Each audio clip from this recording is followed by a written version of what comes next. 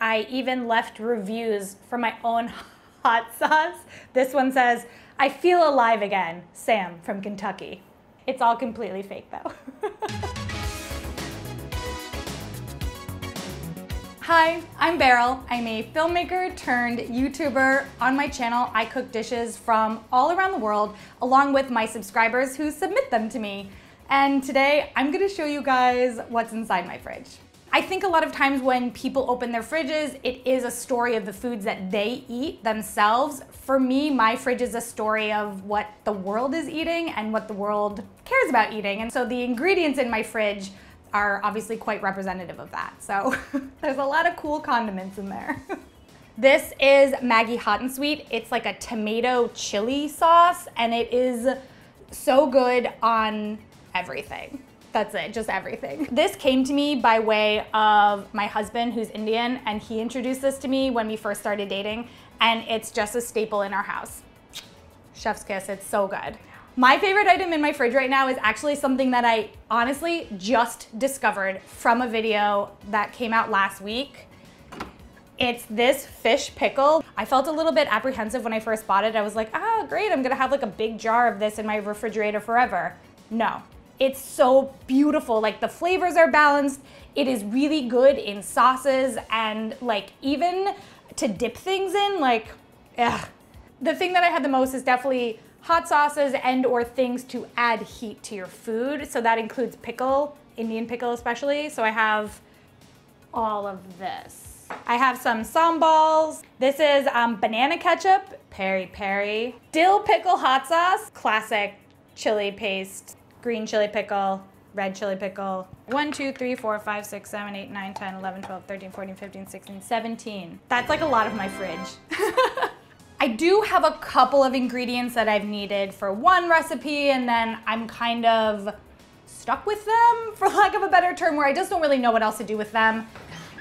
Exhibit number one, cuttlefish ink. I don't know what to do with this. I made cuttlefish ink risotto from Croatia once, and now I have an entire jar of cuttlefish. One day, I will come up with something else to do with this. Until then, it lives in my fridge. Okay, so this shrimp paste is something that I bought for a mango episode that I did where it, in the Philippines you dip raw green mango into the shrimp paste. It is a very strong flavor, so eating it just out of the jar was, um, it was an experience. New York City is a really amazing place because you can find a grocery store for nearly every culture. So there is a Filipino market that I like called Johnny Air Market that's down on the Lower East Side. The guys who work there are super nice.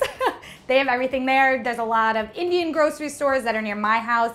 Up in Queens, you can find all sorts of Asian supermarkets. You can find pretty much everything you need, which makes me able to do what my show is. I have an episode coming up where the concept of it is change my mind, where I've told people foods that I don't like and I've asked them to submit recipes from their cultures that they think will change my mind about that ingredient. And so the current one is bitter gourd. Just like the name implies, it's incredibly bitter honestly, it's I don't really like this. And so I have been cooking it in, from different countries around the world to try to find a iteration of it that I do like. Okay, this isn't fancy, but technically it's expensive because it came all the way from Jordan. My sister goes to Jordan for work. She runs a school there. And my favorite food from Jordan are these pickled vegetables, and she brought them back for me recently. So it's pickled turnips, peppers, celery, and cucumbers. My spice drawer is insane, by the way. It's absolutely bonkers. I have real saffron in my spice drawer. This is covet, I covet this. This is the this is the red bean paste. This is for a Japanese toast recipe that I did. It was called ogura toast. It was good. Very good. So I have uh, worm salt and I actually also have grasshoppers called chapulines. And this was from a video of food and drink pairings around the world. This tastes really good. The worm salt is really nice. Corn grits, I actually made shrimpen grits from the Gullah Geechee tribe in the southern United States for a episode on dishes that I wish you knew instead of just the stereotypes of what people think about. So I eat a lot of instant noodles on my channel. I love instant noodles and I think it's really cool how you can dress them up and make them be so many different things. And somebody sent me these instant noodles from Malaysia and the flavor is really different than the other Maggi noodles that I've had. There's a lot of different spices on this, so it's got a really robust flavor packet in it. There's one ingredient that I traveled about an hour and a half to get because I could not find it, but I kept getting recipes that needed it again and again. And it's a plant called pandan. In essence, it's just this beautiful big leaf. And I ended up finding it in this tiny, tiny little shop next to these kind of trucking depots. I have fresh rotis from my mother-in-law in India. She sent them to us and I try to use them sparingly because, you know, it's a very limited amount, but I love these. Another plant that I keep in my freezer are lime leaves, and these are really common in Thai cooking and Indian cooking again. And the flavor that these lime leaves give is so, so beautiful, but they're very hard to find. So when I find them, I buy a bunch and then I keep them frozen, which is okay to do. God, smells really good. I mean, I'm sure there's a lot of stuff that's expired in here. I don't really believe in expiration dates in the same way. I just feel like it's a guideline, but like a sauce doesn't really expire unless it's full of mold. Like I just, I'm not buying it. Like, okay, this, this could be expired. This hot curry paste could be expired. This is old. Okay, okay, this is really old. this is really old. Okay, technically this expired in 2013, but hear me out. It still smells good and there's no mold. It's just a dried paste. So like, can it really expire? I mean, maybe. Oh, I do have this in my fridge. I forgot the ever dreaded Vegemite. I have a toast series where people tell me different ways they eat toast around the world. Obviously, Vegemite came up. I used one spread of it and it's just been sitting now ever since. What else are you supposed to do with Vegemite? I thought that maybe I should clean the fridge before you guys came and then I and then I didn't. I just kind of feel like it is what it is here's my fridge, you know, with a big bowl of chilies.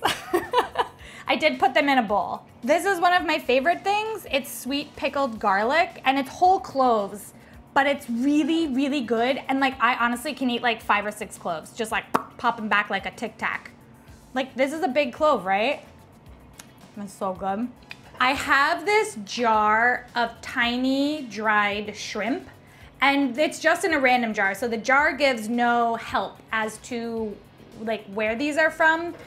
I don't remember what I used them in or how I used them. So if anybody who has seen any of my episodes remembers, please let me know in the comments because I have completely forgotten at this point.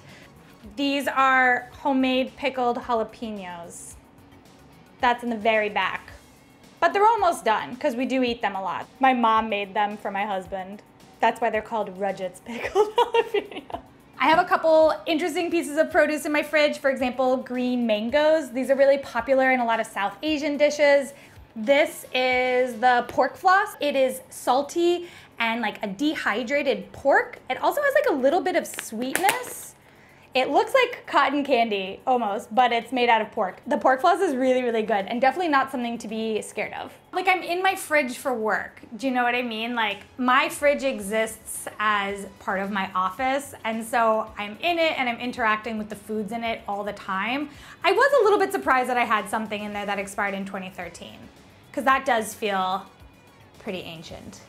I honestly feel quite connected to all of the foods in my fridge because I've used them and I've learned about them in such an intimate way from people that they don't exist just as foods, they exist as part of a story and as part of somebody's culture that I've been invited to learn about. Thank you guys so much for watching my fridge story and I hope that you feel inspired to try something new or maybe explore a supermarket in your area that you haven't been to. If you want to see more of me cooking with ingredients like you've seen, you can check out my channel. It's just my name, Beryl Shereshewsky. You can even misspell it and you'll probably find me. And don't forget to subscribe to The Spruce Eats to see more videos like this.